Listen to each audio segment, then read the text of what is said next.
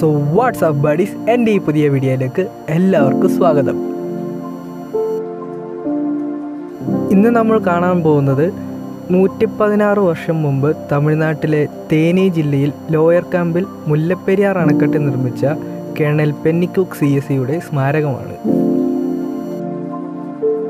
Lawyer ക്യാമ്പിലെ Tamil Nadu electricity ബോർഡിന്റെ പരിസരത്ത് ഒരു കോടി രൂപയുടെ ചിലവിലാണ് കേണൽ പെന്നിക്കുക്കിന്റെ സ്മാരകം നിർമ്മിച്ചിട്ടുള്ളത്.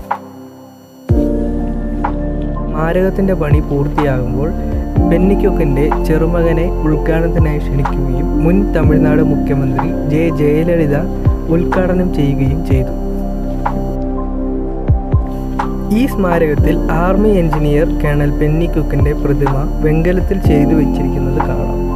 കൂടാതെ മുല്ലപ്പെരിയാർ ഡാം നിർമ്മാണ സമയത്തുള്ള ഫോട്ടോകളും ഈ സ്മാരകത്തിൽ വെച്ചിട്ടുണ്ട്.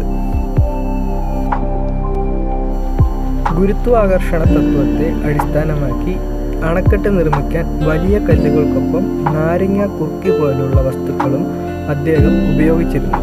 ഭൂചലനങ്ങളെ നേരിടാനുള്ള ശക്തിയുണ്ടെന്നും ആയതിനാൽ ഈ ഡാം ഇന്നും ശക്തമാണെന്നും അവർ പറഞ്ഞു. അന്ന് സാർ പെന്നിക്കുക്ക് മൂലം അറേബ്യൻ കടലിൽ പടിഞ്ഞാറോട്ടൊഴുകി ചേരുന്ന പെരിയാർ നദിയെ കിഴക്കോട്ട് തിരിച്ചുവിട്ടതുകൊണ്ട് ഇന്നും തമിഴ്നാട്ടിലെ ദിണ്ടുക്കൽ പോലുള്ള അഞ്ചിൽ കൂടുതൽ ജില്ലകളിലെ വരണ്ട ഭൂമികൾക്ക് കൃഷി ചെയ്യാൻ സാധിക്കുന്നു.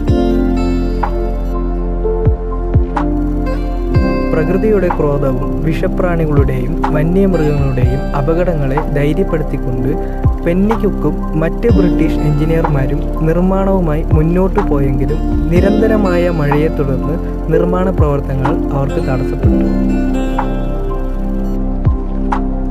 കൂടാതെ അണക്കെട്ടിന്റെ നിർമ്മാണത്തിനായി സൂക്ഷിച്ചിരുന്ന ധാരാളം മണൽ ബാഗുകളാണ് കടുത്ത മഴയെ തുടർന്ന് അവർക്ക് നഷ്ടമായത്. ഇതിനെ തുടർന്ന് അണക്കെട്ട് നിർമ്മാണത്തിനായി ബ്രിട്ടീഷ് സർക്കാരിൽ നിന്നും വേണ്ടത്ര ഫണ്ട് ലഭിക്കാത്തതിനാൽ പെന്നിക്കുക്ക് തന്റെ സ്വന്തം രാജ്യമായ ഇംഗ്ലണ്ടിലേക്ക് പോയി കുടുംബ സ്വത്ത് വിറ്റ് പദ്ധതിക്ക് പണം സ്വരൂപിച്ചു. അങ്ങനെ മൂന്ന് വർഷം നീണ്ടുനിന്ന അണക്കെട്ട് നിർമ്മാണം ആയിരത്തി എണ്ണൂറ്റി തൊണ്ണൂറ്റി അഞ്ച് ഒക്ടോബർ പത്തിനാണ് പൂർത്തിയായത്. അന്നത്തെ മദ്രാസ് പ്രസിഡൻസി ഗവർണറായിരുന്ന വെൺലോക്കാണ് ഡാം ഉദ്ഘാടനം ചെയ്തത്.